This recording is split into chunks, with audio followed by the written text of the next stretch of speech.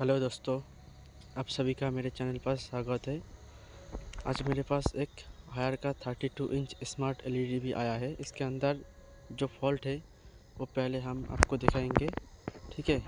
पहले तो हम इसका एसी इनपुट करेंगे। सो so फ्रेंड्स मैंने पावर ऑन कर दिया। हमारा जो रेड इंडिकेटर है, वो ग्लो हो चुका है।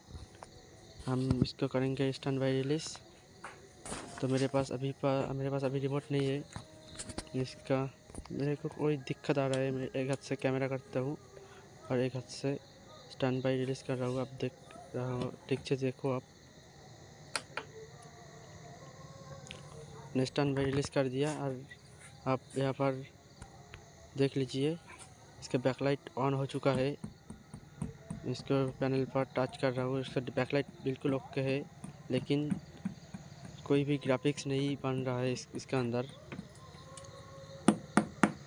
इसके कस्टमर मेरे को बताया इसका साउंड वगैरह सब कुछ ओके है लेकिन इसमें कोई भी पिक्चर नहीं आ रहा है।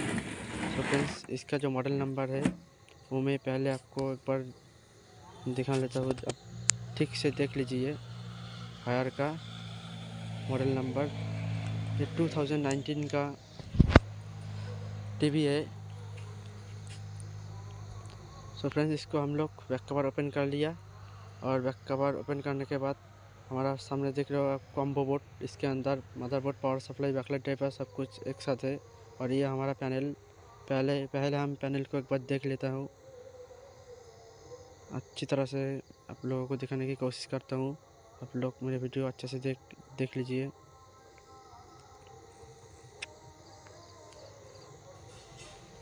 तो फ्रेंड्स,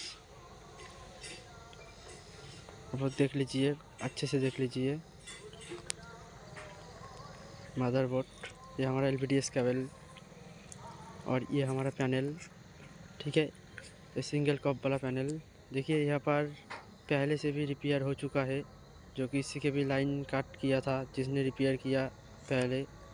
तो फ्रेंड्स के भी लाइन काट किया अभी ये पैनल रिपेयर होगा क्या नहीं, मैं, मेरे को कुछ सोच नहीं आ रहा है। रिपेयर हो भी सकता है, नहीं भी हो सकता है।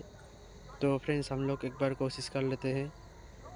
देखिए, यहाँ पर पैनल सॉरी पैनल का जो कॉप है, इसका सी भी लाइन काट ऑलरेडी काट कर चुका है किसी भी टेक्नीशियन फिर भी हम लोग एक बार कोशिश करेंगे। रिपेयर होगा तो अच्छा नहीं होगा तो इसको रिपेयर करने से, इसको रिपेयर वाला रिपेयर नहीं होगा। हमको पैनल चेंज करना होगा। हम लोग एक बार कोशिश कर लेते हैं, रिपेयर होगा तो अच्छा नहीं होगा तो पैनल को चेंज करना पड़ेगा, कस्टमर को बताना पड़ेगा।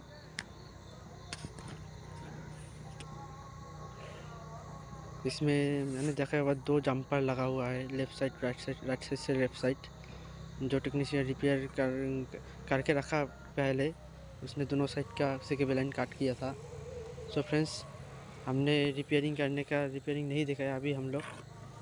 रिपेयरिंग करके आपको दिखाती हो, इसके अंदर प्रॉब्लम क्या था। फ्रेंड्स हमने यहाँ पर सिर्फ़ एक ही लाइन और कट किया, ठीक है। कट करने के बाद हमारा प्रॉब्लम सॉल्व हो गया।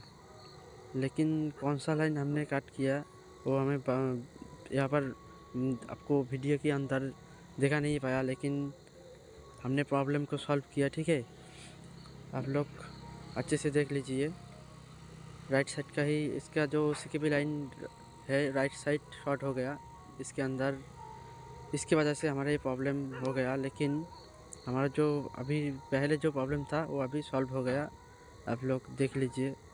हम आपको देखने की कोशिश करता हूँ। पिक्चर भी आप लोग देख लीजिए एक बार। सो फ्रेंड्स हमने आपको पिक्चर दिखाने की कोशिश करेंगे, ठीक है?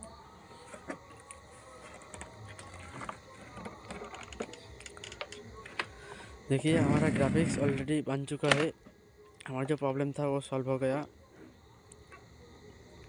मेरा वीडियो अच्छा लगेगा तो लाइक कीजिए शेयर कीजिए और ऐसी ही जानकारी पाने के लिए अपना चैनल मिस्टर इलेक्ट्रो को ज़रूर सब्सक्राइब करना।